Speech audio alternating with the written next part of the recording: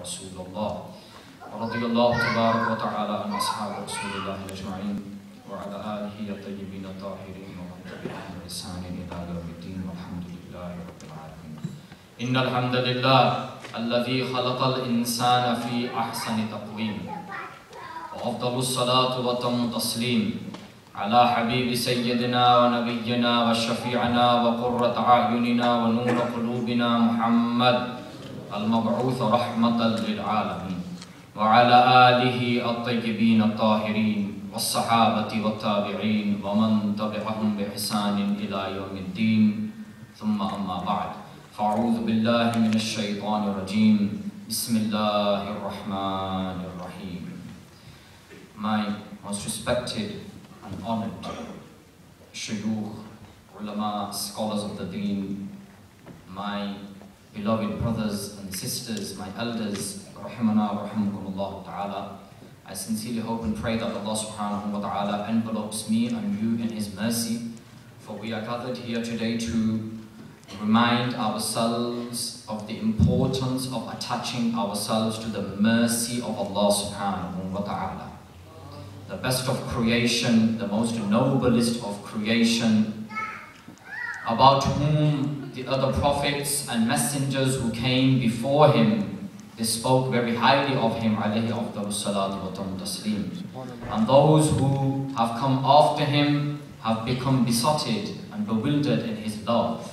And those who follow him in righteousness up until the morning of Qiyamah, until the morn itself comes about of the last day, they try to follow him in such a way that everything about them becomes embodied in line with his beautiful character. Sayyidina al-Shaykh Sa'ad al-Attas, Hafidullah ta'ala may Allah subhanahu wa ta'ala protect and preserve him, spoke very, very beautifully about the importance of understanding the mercy of Rahmatul lil Alameen. Alayhi afdalu salatu wa taslim about trying to recognize the embodiment of mercy within his character, which Allah subhanahu wa ta'ala has placed within him, and how he expressed his mercy towards the creation around him. I want to remind myself and to remind you about incidents which took place when he alayhi salatu wa taslim was either in Makkah al-Mukarramah or Madinah al-Munawwara physically living upon the realms of this earth incidents that took place which remind us about real love. What does it mean to love Him? Is your love as such that when you're in a gathering, then you're extremely hyped up and all you do is resemble a majnoon, someone who has lost their senses in his love? As Sayyidina Al-Habib Zain Al-Habashi alayhi rahmatu wa ridwan, he writes, مَا ظَنَّ مَجْنُونِ لَيْلَا قَدْ جُنَّ بَعْدَ جُنُونِ You're not going to understand what madness really is after you see how mad I am, madly in love I am with the one I am in love with, even if you look at Layla and Majnun. You know the folk tale about those two people who were in love with one another, Layla and Majnun? eh? and, and in Pakistan, Shiri Farha. No? Maybe not. Layla Majnu and Shiri Farha and all of these people who were in love with one another, but even that love, that a man fell in love with a woman and a woman fell in love with a man, they were so enveloped in that love that they could not see anything. One of the parts of the story of Majnu and Layla, when they were in love with one another, you know, when she was taken away from him, and the reason I uh, remind myself and remind you about a story is not to compare it to the love of the Messenger of Allah, but to realize and make us understand what kind of ghafla he thus has enveloped in. And we think this is love. When Layla and Majnun were taken away from one another, when Layla was taken away from Majnun, and he was walking through the deserts, and there was a man who was worshipping, he was in salah, and he was in prostration. And Majnun was Majnun, he was mad, madly in love, lost in love. You understand? The man was deep in the matter. You understand? And he's walking, and there's a man praying salah. Haji Sahib namaz par He was in prostration. And Majnu walks past him. He finishes his salah and he gets up, man, or vex. You understand? And he goes up to Majnun and goes, What kind of man are you? What kind of man are you? You can see I'm praying Salah, the whole desert is open, but no, you decide to walk right in front of me. What kind of man are you? And he says, Who were you worshipping? He said, Allah. He said, You're truly worshipping Allah? He says, Yes. He says, Do you love Allah? He says, Of course I love Allah. He says, If you are truly madly in love with Allah, how did you even realize that I walked past you? How did you even realize that I walked past you? هذا محبة This is love. To be in love to the extent where you don't realize anything or anyone around you. Sincerity in love, khulus, sidq, truthfulness in love. Let's look at some examples. Let me remind myself and remind you about those individuals who truly loved him. Alayhi may Allah subhanahu wa ta'ala be pleased with all of them and make us amongst those people who adopt their examples in our lives, inshallah. And the time, Makkah al-Mukarramah, in the early years of prophecy, when the companions, and you can find these narrations in the classical text of Sirah, Sirah al-Nabawi Sharif, in the Prophet's life, in the early years of prophecy, when he had declared his prophecy, and the companions were worshipping Allah subhanahu wa ta'ala in secret, before the open declaration happened. And they would gather in a house, and soon as dawn was about to come, they would say to one another, we need to quickly disperse before we get caught, before we get stopped, before people realize that we are congregating and worshipping Allah and have accepted the son of Abdullah as our liege lord and master. We are following his instructions. So they would get together in secret Sayyidina Zaid bin Haris, radiallahu anhu, may Allah subhanahu wa ta'ala be well pleased with him. He was amongst those people who we all know about, that he was later on, he was the freed slave of the Messenger of Allah sallallahu alayhi then he was taken on, adopted by the Messenger sallallahu alayhi Sayyidina Zaid ibn Harith. When he was adopted by the Messenger sallallahu alayhi and he was still involved in serving the deen in the early years of prophecy. He was amongst those people who was once stopped. And it was asked to him, Where do you come from? He said, I come from one of the fellow companions' houses. Where do you go to? I go towards our Sayyid, our Master. Sallallahu. So they says to him, Have you left the religion of your forefathers as well? because he came from the land of Persia and they used to worship fire and so on and so forth. And he said, whatever the son of Abdullah says to us is the truth because that man does not have the face of a liar. What he says is the truth. This was a part of the answer of a lengthy conversation that he had. Look at Sayyidina Bilal radiallahu anhu. After the demise the physical demise of our liege Lord and Master Wasalam alayhi Sayyidina Bilal al-Habashi radiallahu when he moved to Syria. And then he was invited back again to Medina al-Munawwara and people kept inviting him to give the azan to remind them of the days when he alayhi used to physically walk through the streets. The companions kept on saying to him, give the adhan again, give the adhan again. And he would say, no, I can't give it. And they would ask, why can you not give the azan? Remind us of those days when you would give the adhan and he, salawat rabbi salam alayhi, was walking amongst us. And he would say, I cannot bring myself to do it, for if I do it, then I feel as if he is amongst us, and I know that he is not physically amongst us anymore.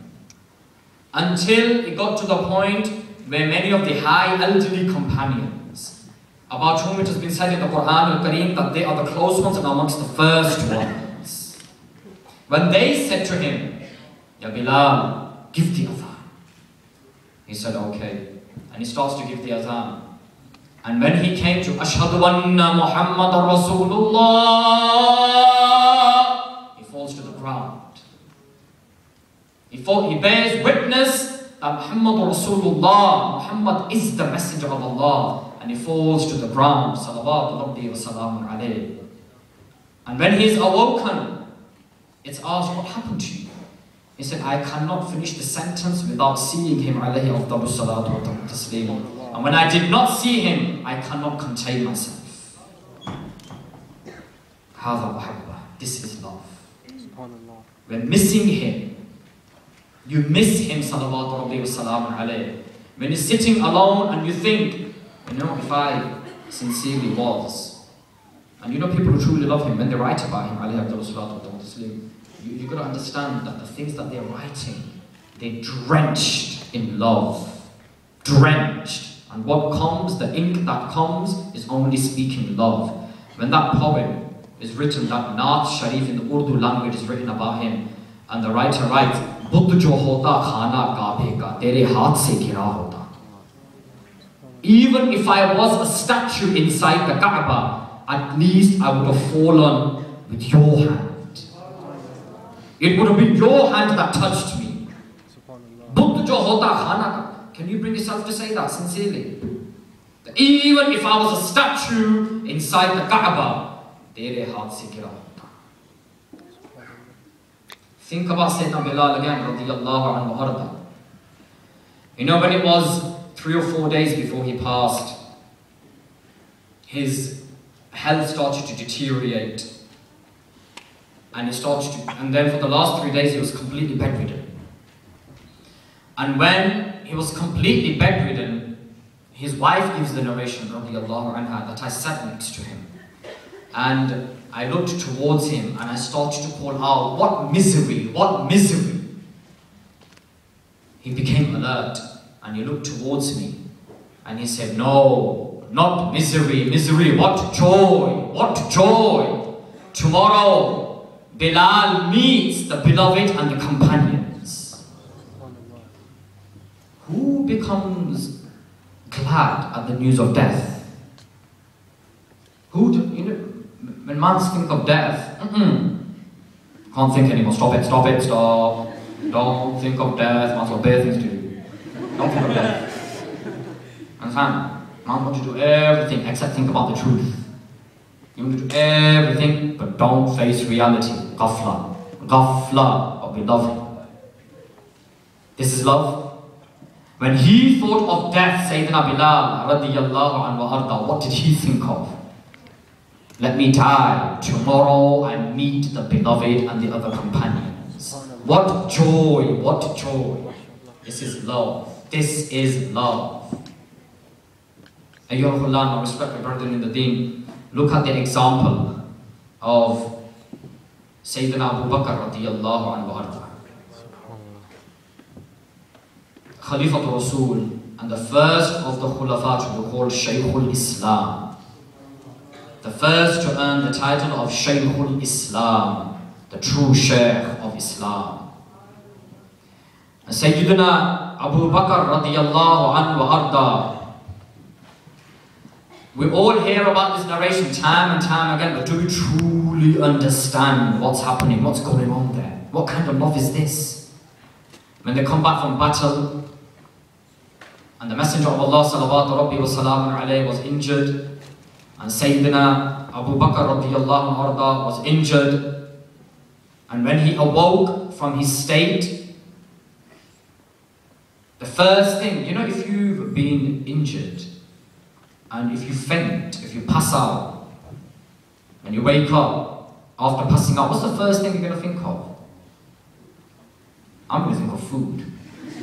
Telling you straight. I want a, I want a fat drink of water and I want some bone biryani. Understand? I ain't going to be thinking about next man's. But that's just me. But this ain't about me.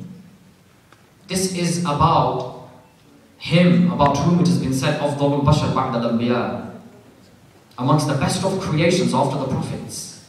Sayyidina Abu Bakr radiallahu anhu. When he woke up from that state, what's the first thing he asks about? How is the Prophet? What is the Prophet's state? Has he awoken? Is he okay? even more concerned about the state of the Prophet when his own state was in turmoil. He'd been injured, he'd been battered and bruised. His mind was all over the place, but alertness for who? For the one he was in love with. In love with. My respected brethren, think about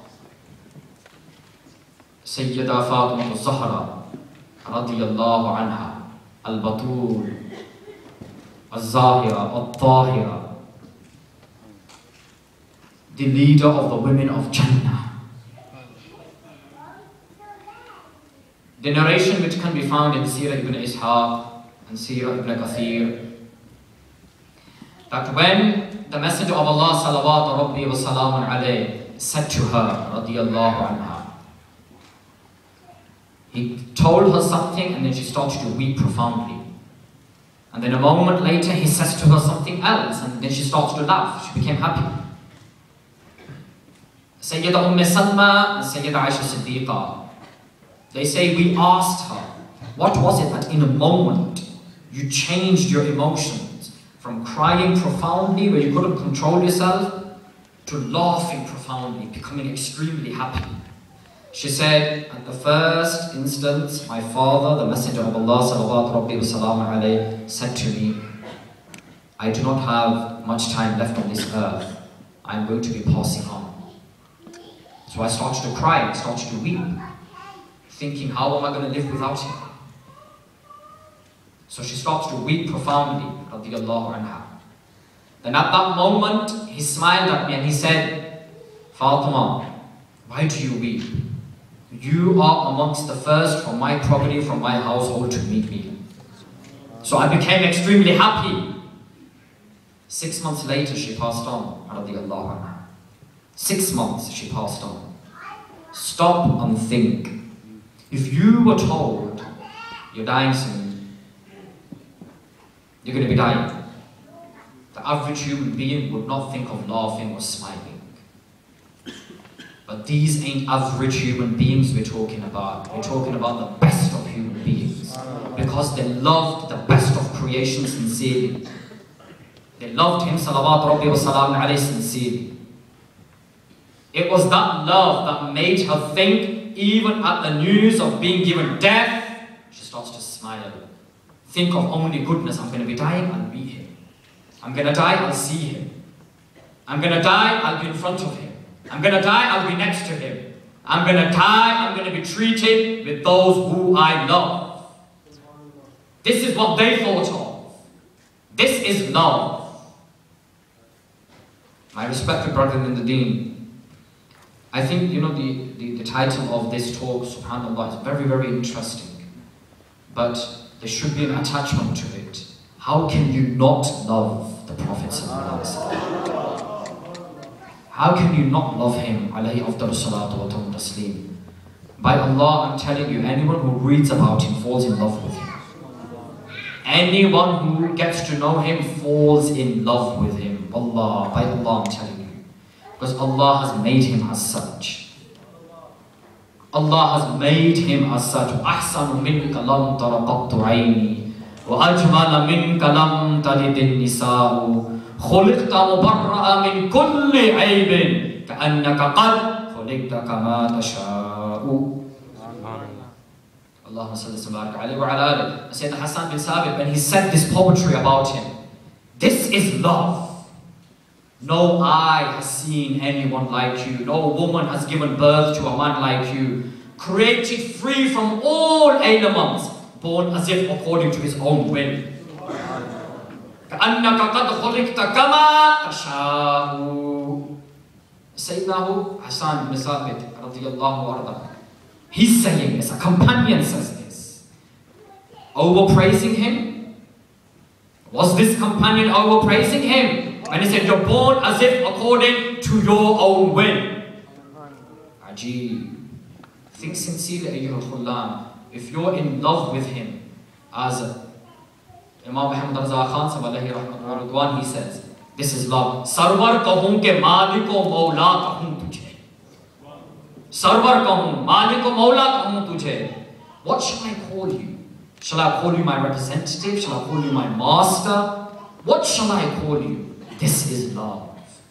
सरवर कहूं के मालिक मौला कहूं तुझे बागे खलील का गुल सेबा कहूं तुझे Shall I call you from amongst the flowers of Sayyidina Ibrahim alayhi salam's garden that you fell into? What should I call you? This is love where even words fail to describe him. As Sayyidina Imam Jami said, that when we write about him, then our poetry does not become praiseworthy because of the words. The words become praiseworthy because we're writing about Him. This is love. When people who sincerely love Him, the moment they think of the green dome, Wallah, tranquility starts to descend upon them. Mercy starts to descend upon them. Who wants to get rid of the green dome? The moment you think of anything associated with Him, anything that reminds you of Him, you fall in love with that itself. How is it going to be when you're in front of Him? How? Think of that moment. Think of that moment when you're lying in your grave and He finally comes. He comes, you see Him, and then the angels ask you, What did you have to say about this man? in the right of the, what did you have to say? Are you going to be able to contain yourself? A true lover would be in such a state as the true lovers have said, when we see him in our grave, don't frighten us with the news of death. Give us glad tidings of death. For when we see him in our grave, that will be the best part of our lives, even after death. This is what the true lovers have said. My respected brethren in the deen, if you sincerely want to increase your love of Him, alayhi afdalu salatu wa taslim, get to know Him.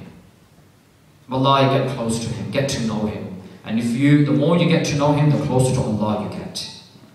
The more you get to know Him, the more you love Him. The more you love Him, the firmer your faith becomes. لا يؤمن أحدكم حتى أكون أحب إليه من والده وولده والناس أجمعين or None attain belief. Attain belief unless they love me more than their parents, their children, and the rest of mankind.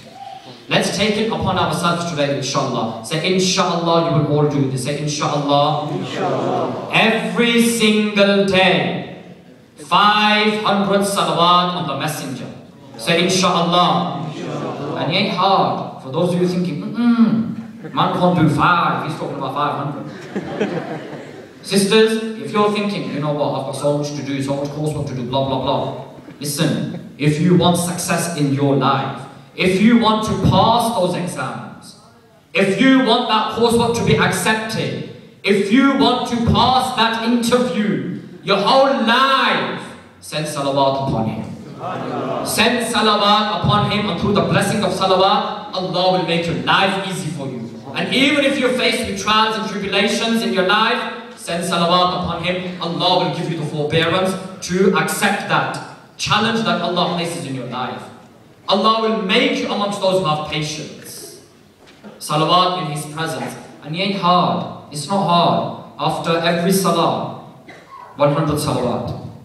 100 salawat. Okay? If you find it difficult, to say Allahumma salli ala Sayyidina Muhammad wa ala Sayyidina Muhammad wa barik salli wa salli alayhi, all the salawat of, Sayyid, of Sayyidina Ibrahim, okay? Allahumma salli alayhi. Allahumma salli alayhi. Allahumma sallim alayhi. Say Allahumma, Allahumma sallim alayhi. Subhanallah, look how many blessings have just come down. Subhanallah. Look how many blessings, subhanallah. It's raining blessings, it's raining. Do you want that in your life? Do you want that love of His in your life sincerely? Send blessings upon him. 500 every single day. And according to a narration which can be found in Dalail al-Khairat, compiled by Imam al-Juzuli, a person who sends 500 salawat upon the Messenger salawat rabbi wa alayh, his intercession becomes wajib for that individual. On the day of Qiyamah, He will intercede for you. You will be close to Him standing like this. As He salawat rabbi salam alayhi himself has said, I pray that Allah subhanahu wa ta'ala makes me and you truly sincere to the Messenger. Salawat rabbi salam alayhi. أقول قولي هذا واستغفر الله لي ولكم ولسائر المؤمنين. والسلام عليكم ورحمة الله وبركاته.